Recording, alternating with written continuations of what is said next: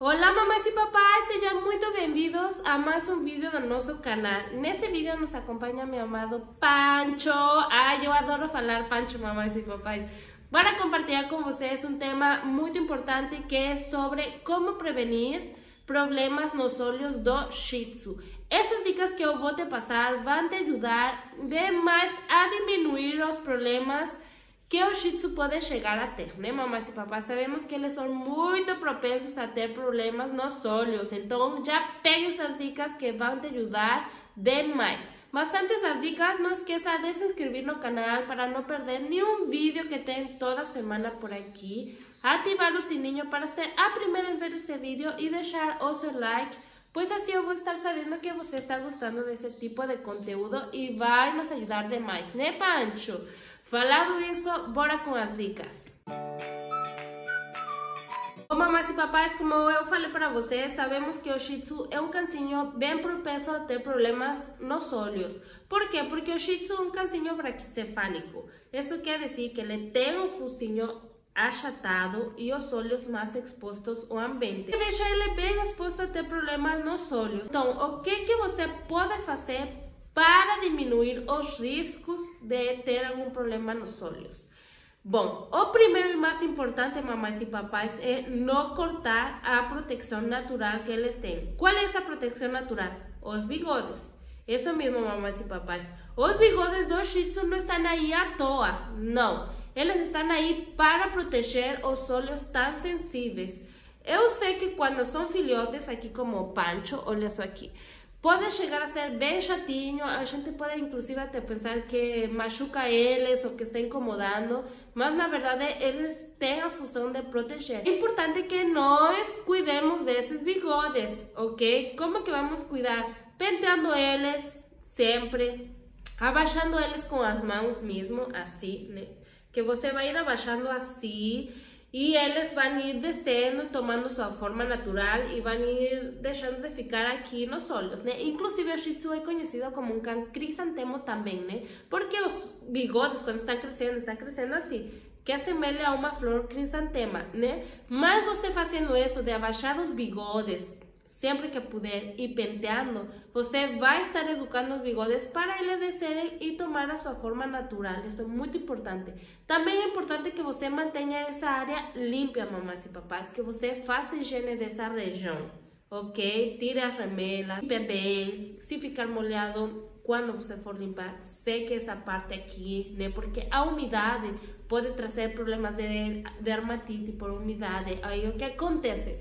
Ele começa a se coçar. E quando se coça aqui, ele pode coçar o olho se machucando e causando uma úlcera de cor. Uma coisa leva a outra. Então, é muito importante que você mantenha essa região bem cuidada, bem sequinha, se você puder, claro, né? Para evitar esse problema da dermatite.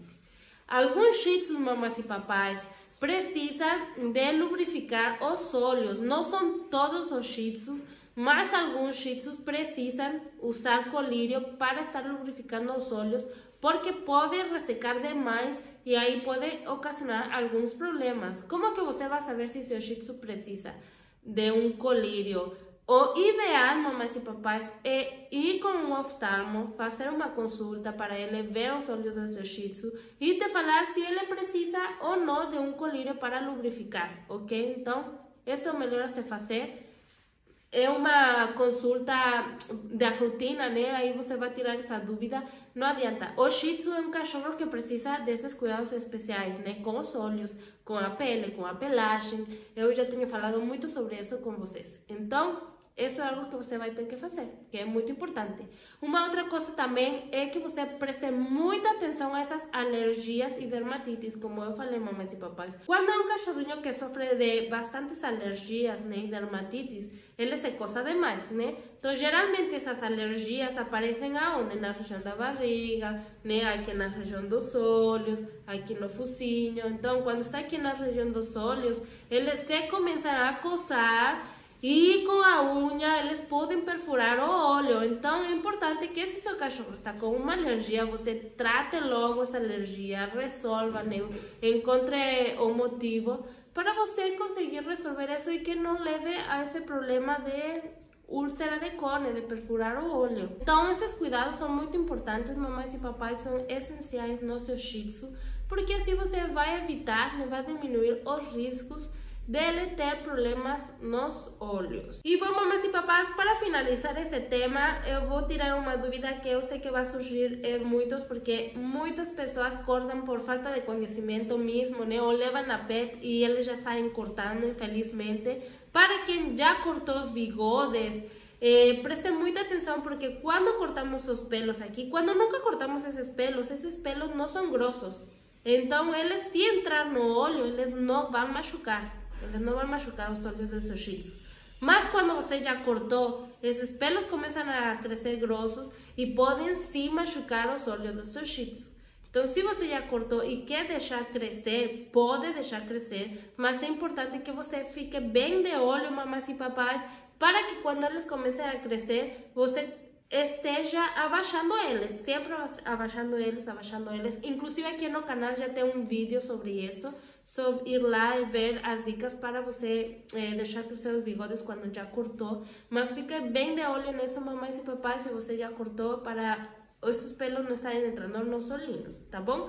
Então, espero que vocês tenham gostado dessas dicas. Ajudem demais a evitar esses problemas que eu sei que é terrível. Eu já passei com a Jamila por úlcera de córnea, por causa de alergia, mamães e papais. Mas, graças a Deus, eu vi... Eh, eu percebi na, logo né, que ela estava com um problema no olho. Inclusive, eu vou falar também sobre isso aqui no canal, né? Como que você pode perceber que ela está com um problema com úlcera. Porque quanto antes você perceber e tratar, mais fácil vai ser salvar olho. Porque eles podem até perder olho, mamães e papais, ok? Então, me deixa aqui nos comentários se você gostou do vídeo, das dicas, um outro tema que você queira ver por aqui. E nos vemos na próxima dica. Um beijo.